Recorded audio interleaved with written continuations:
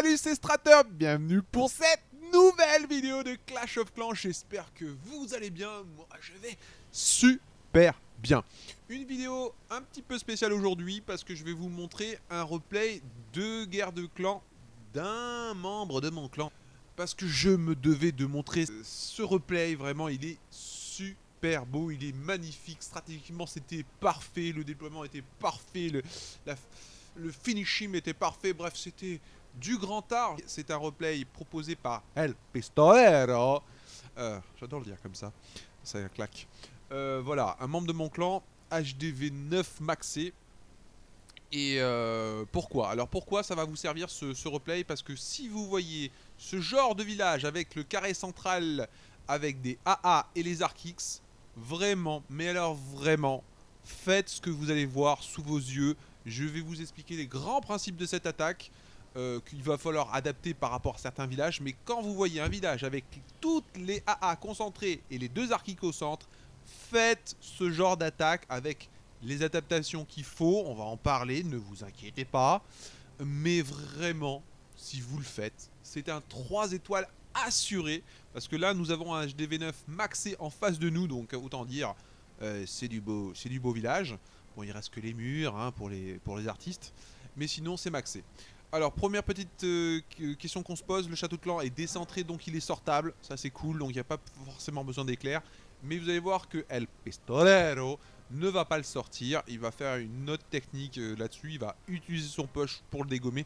Moi je déteste la non-utilisation d'éclair quand on fait un push face à un château de clan, je déteste cela, ça peut très très vite mal tourner. Euh, si on n'a pas trop, trop de chance, donc on joue un petit peu la roulette russe, et à ce petit là il ne faut pas jouer. Euh, mais ça a fonctionné pour El Pistolero. Allez, on va voir le replay. Hop, petite pause avant. On va regarder la composition, euh, sa composition. Vous voyez, donc 3 sapeurs. Ça, franchement, j'ai pas compris pourquoi il y avait des sapeurs. 8 ballons, ça, c'est la petite caractéristique par rapport à ce genre de village. On les garde de côté, vous allez voir, c'est magnifique ce qu'il va en faire. Là, c'est le push avec des PK, s'il vous plaît et 3 golems. Hein. C'est sûr que dans le renfort, il y aura 3 golems. Et voilà la composition des sorts. Vous voyez, donc il n'y a pas les éclairs que j'aurais bien voulu voir. Mais bon, c'est le choix de, Del Pistolero. Moi, j'approuve pas. Je vous conseille de faire la même avec un éclair. Allez, on va voir donc le replay et regardez le petit déploiement. Un golem à droite, un golem à gauche et bien évidemment le gros golem maxé en centre offert dans le château de clan. Regardez euh, au passage, donc pourquoi 3 golems? Et eh bien tout simplement parce qu'il y a 3 compartiments Voilà pour son attaque, un petit peu son, attaque euh, de ce côté là, il y a 3 compartiments, donc 3 golems. Tout simplement, il y en aurait 2, ça serait 2, il y en aurait qu'un seul, on aurait une grosse ligne de front sans séparation, ça aurait été un golem. Ça n'arrive jamais. Enfin quoi que sur les HDB ici. Allez, on lance le, donc replay, on pose les sorciers derrière.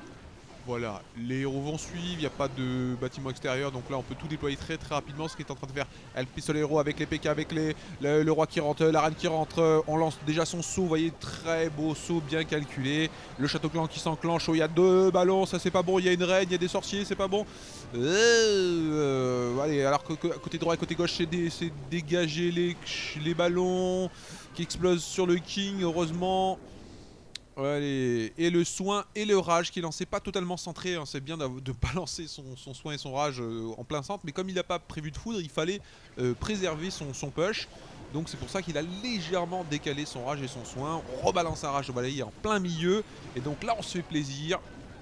Pendant ce temps les côtés ne sont pas morts. Peut-être qu'on va euh, pouvoir dégommer quelques bâtiments gratuits. Et là, l'attaque derrière des ballons. Alors le déploiement des ballons n'est pas parfait dès le pistolero. Pourquoi? Parce que les, quand vous tapez l'arrière, hein, ça va être le problème parce que vous allez voir toutes vos troupes bloquées dans ce carré central avec des murs costauds. On a perdu beaucoup de troupes, il y a beaucoup moins de troupes pour casser les murs. En plus, elles vont chacun faire taper leur mur, donc elles vont se retrouver emprisonnées. Et euh, euh, des, tours canons, des tours d'archers, euh, des mortiers qui vont leur tirer dessus gratuitement avant de se faire toucher. Et c'est là que c'est un peu le drame, le, push meurt au centre, ou du moins est trop impacté. Et eh ben non, là, l'arrivée des ballons va faire le finishim. Alors on lance ces ballons, pas comme El Pistolero, sur tout ce qui est anti-aérien en premier. Donc les tours d'archer, les Tesla, les tours de sorcier. Là, il a lancé un petit peu sur les canons et les mortiers. Bon, c'était pas totalement parfait comme, comme replay, contrairement à ce que je vous ai dit. Mais vous voyez, regardez, et hop, pendant son temps, le push ne va pas mourir alors que le canon s'en donnait à cœur joie. Mais non, les canons sont en train d'exploser grâce à l'intervention des ballons. Vous voyez le, King qui prend cher avec ses trois tours qui lui tirent dessus. Mais non, les ballons viennent de dégommer la tour d'archer. Les ballons vont dégommer la tour de canon. Alors que l'arche, le voyez, le King aurait dû mourir. Et ben non, ne mourra pas grâce à l'intervention de ces ballons. Par exemple, côté gauche. Mais euh, côté droit aussi c'est pareil, le PK vous voyez il rentre alors que euh, vous voyez le PK il aurait dû mourir hein, avec ces deux, bombes géantes avec euh, trois, deux tours derrière qui l'auraient tiré dessus mais non comme les ballons ont effacé ces tours là il est vivant euh, voyez ils vont donc vraiment le grand intérêt. Il n'y a plus d'anti-air, elles sont mortes au centre. Donc là les ballons peuvent s'en donner à cœur joie sur des petites ballons, euh, sur des petites tours single. Voilà le grand intérêt. Je dégomme le carré central totalement anti-air et derrière, je place euh, en finishing quelques petits ballons pour dégommer les tours canons, les tours d'archer et les tours de sorcier qui ne sont plus un problème pour les ballons, qui n'ont plus les entières et les, les, les maxés pour les dégommer. Voilà, c'était un très très beau plan. Je vous invite fortement à le faire si vous voyez ce type de village avec toutes les entières concentrées au centre. Merci à tous d'avoir regardé. Abonnez-vous, mettez un pouce vert, mettez des commentaires. Merci d'avance. Ciao